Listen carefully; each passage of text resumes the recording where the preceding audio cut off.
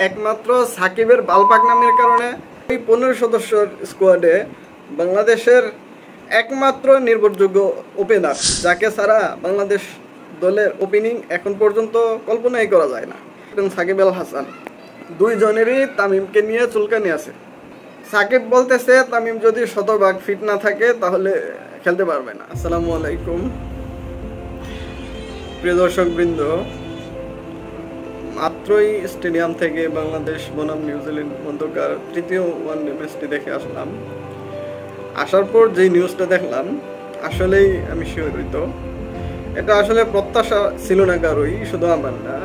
দেশের ষোলো কোটি মানুষ কেউ এটা প্রত্যাশা করে নাই।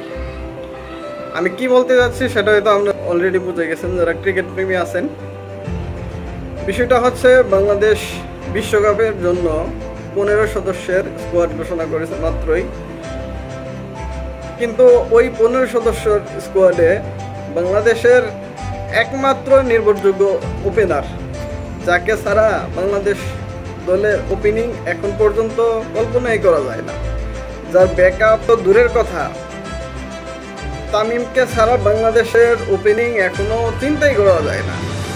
সেই জায়গায় বিশ্বকাপের মতো একটা বিশ্বকাপের মতো এত বড় একটা টুর্নামেন্টে মানে ক্রিকেটের সবচেয়ে বড় টুর্নামেন্ট হচ্ছে ওয়ার্ল্ড কাপ এই ওয়ার্ল্ড কাপের দলে তামিম ইকবাল নাই। এটা আসলে মেনে নেওয়া যাচ্ছে না। এটা আসলে কোনোভাবেই কোনোভাবেই কাম্য ছিল না এটা। আসলে তামিম না থাকার পেছনে কি কি কারণ হতে পারে?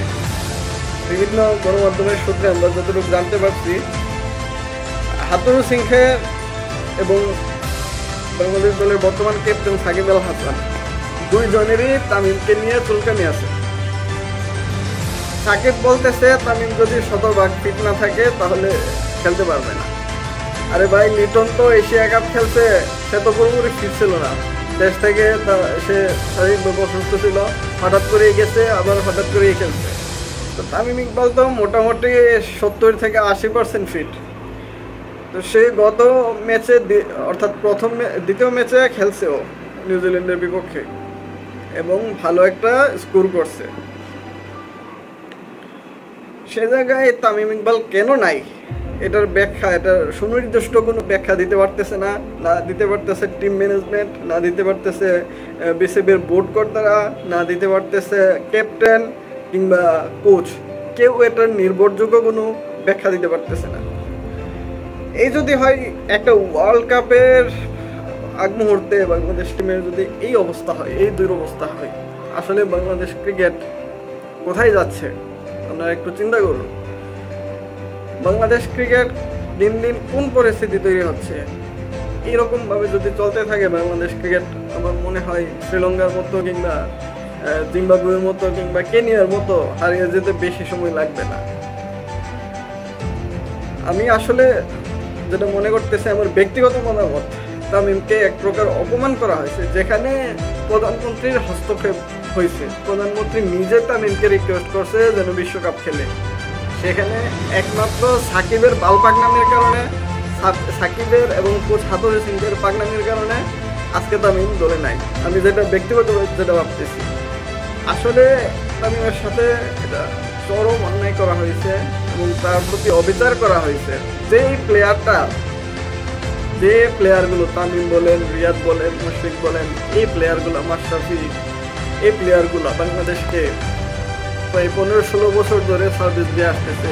আজকে ওয়ার্ল্ড কাপের মতো একটা বিশ্ব আসরে তামিমকে এরকম অপমানজনক একটা পরিস্থিতির মুখে ঠেলে দিচ্ছে তা আসলে কোনোভাবেই এটা আসলে কোনোভাবেই দেশের মানুষ কোনোভাবেই মেনে নেবে না। এটা আমি হোক আর যেই হোক, দেশের ষোলো কোটি মানুষ এটা কোনোদিন মেনে নেবে না। তামিমকে দলে না রাখা এটা আসলে কোনোভাবেই এটা কাম্য না।